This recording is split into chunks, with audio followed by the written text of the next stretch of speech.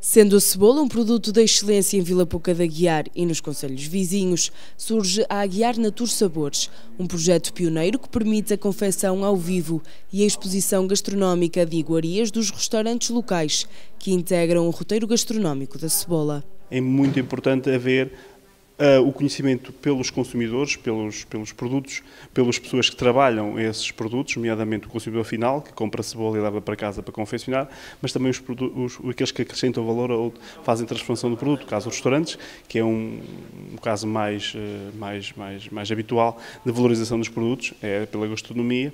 Também terem conhecimento do produto, das suas características e poder apresentar um, cada vez com melhor qualidade e também com alguma inovação. O principal objetivo deste projeto é promover o consumo dos produtos locais aos habitantes e a todos os que visitam o município. Em cada evento, os restaurantes aderentes confeccionam pratos de acordo com a temática. É por isso possível experimentar caldo de cebola, bacalhau frito com cebolada, pão de cebola com chouriço e iscas de fígado com cebolada. E estes até foram alguns dos pratos apresentados na primeira edição da Aguiar Natur Sabores. Há pouca aderência, mas as pessoas com o tempo vão se habituar, mas é muito bom, muito bom. Para trazer a pessoal à vila, que é muito importante, faz falta cá pessoal.